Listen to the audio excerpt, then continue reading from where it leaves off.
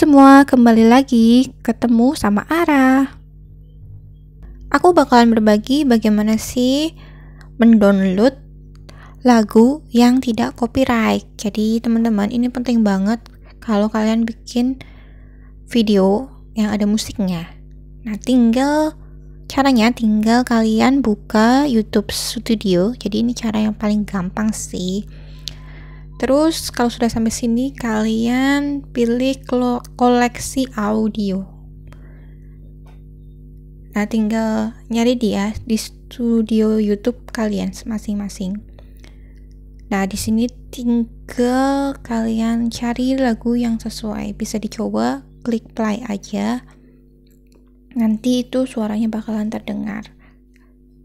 Nah, ini audio-audio di YouTube Studio semuanya itu no copyright. Jadi gampang banget buat kalian yang pengen memasukin memasukkan video dengan lagu gitu. Ada beberapa website untuk download lagu no copyright sebenarnya tapi aku saranin pakai ini aja. Ini lebih gampang karena banyak dan tinggal kamu play coba coba-coba. Lalu uh, langsung download di bagian situ. Jadi nggak usah ribet banget. Kalau di website-website lain itu agak ribet mah nah di situ udah ada tulisan download. Tinggal di download udah gitu doang. Musiknya juga banyak banget. Kamu tinggal cari di bagian telusuri itu atau file filter koleksi audio, kamu bisa lihat kan uh, lagunya itu nggak cuma judul tapi ada tulisan genrenya, ada sinematik, terus ada moodnya, gembira, artisnya juga ada, durasinya juga ada. Jadi ini ini bagus banget kalau misalnya ini dicoba dulu ya, hmm, bunyiin ini bagus banget. Sesuai sesuaikan aja sama video. Misalnya bikin film kan. Bikin film atau baca puisi kamu bisa sesuaikan genrenya. Ada dramatis ada banyak lah intinya. Nah kalau udah ketemu lagu yang kamu mau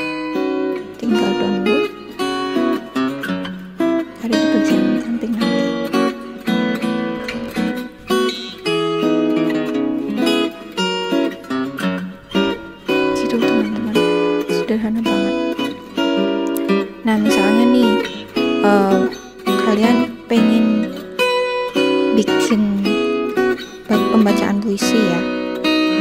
Pembacaan puisi dan ada iringan backsound. Nah ini kalian tinggal klik telusuri. Lalu sesuaikan misalnya moodnya itu sedih ya klik aja. Klik mood terus sedih. Nah gitu. Nah ini tinggal di download. Tuh saya udah ada download bagian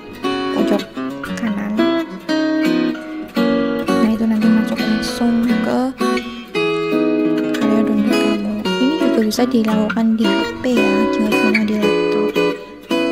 Nah itu kan gampang jadi kalau kamu ngedit di HP seperti saya ya mendingan downloadnya di HP aja. Atau mau download di komputer nanti dipindah di HP bisa juga. Sesuaikan aja. Jadi yang penting ini kalian menyesuaikan dengan uh, bikin apa. Misalnya aku biasa nulis atau bikin video tentang anak-anak. Nah lagu-lagu anak-anak bisa kalian pilih seperti itu. Dicobain aja satu-satu. Deh oh, sudah. Gitu aja teman-teman. Kalau kalian mau daftar lagu yang bagus nanti aku share. Kalau kalian mau. Jadi misalnya kalian uh, pengen tentang lagu anak-anak itu di YouTube Studio kamu bisa bilang aja di kolom komentar nanti aku bagikan lagu-lagu yang bagus seperti apa. Yang favorit aku gitu. Teman-teman tuh dramatis. Kalau misalnya uh, bikin film yang dramatis ini bisa banget. Tinggal pilih aja. Terus di download udah itu aja teman-teman.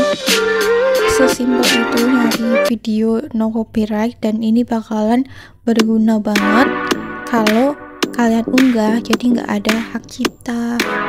Nanti kalian nggak bisa monet lah videonya.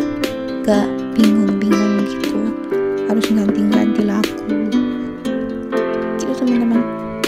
Dan ini juga kan ada isinya ya. Jadi kalau misalnya yang no copyright itu kan ada isinya buat pakai. Tapi kalau yang video yang enggak yang copyright kan akhirnya kita nggak izin dulu kan sama orangnya. Jadi akhirnya kena deh. Gitu teman-teman. Semoga bermanfaat. Jangan lupa like, comment, dan bagikan video ini. Sampai jumpa lagi. Dah